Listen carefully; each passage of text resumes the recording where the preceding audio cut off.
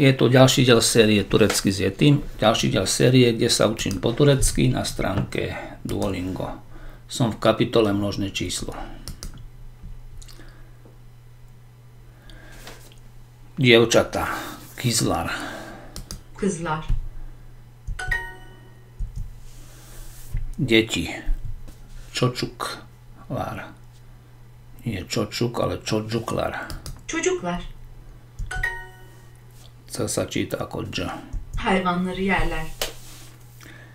Tu chýba podmet a netie tam predmet. Zvieratá jedia. Takže oni, angličtine podmet musí byť, jedia tie zvieratá. Ženy, kadinlar. Kadınlar. Kadınlar elma yer. Ženy jedia jablko. Alebo jablka. Logickejšie. Muži erkekler. Druhá možnosť adamlar. Erkekler.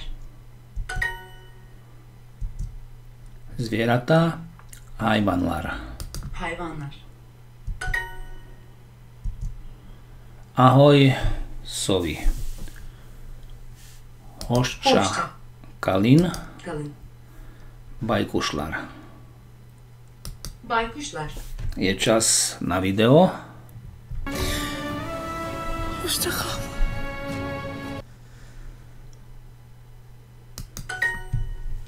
Perfektne.